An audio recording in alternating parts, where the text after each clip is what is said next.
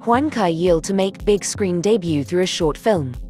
On the 2nd of August, Hwang Chi Yeol's agency 10-2 Entertainment announced that Hwang Chi Yeol had been cast as the male lead in the short film Companion. The agency stated, throughout the years, Hwang Chi Yeol has shown his detailed acting skills through various music videos. We ask for your support and anticipation as he makes his official acting debut. Companion is a movie about Sang Soo, Hwang Chi Yeol, a free-spirited person who goes around busking with his guitar, and Soo-yeon Lee Soon-yoon, a life coach at an orphanage. The story follows their unexpected meeting and the two days and three nights they spend together, helping each other to heal from their personal struggles. Companion was exhibited at the 27th Bucheon International Fantastic Film Festival, and also had a screening in July,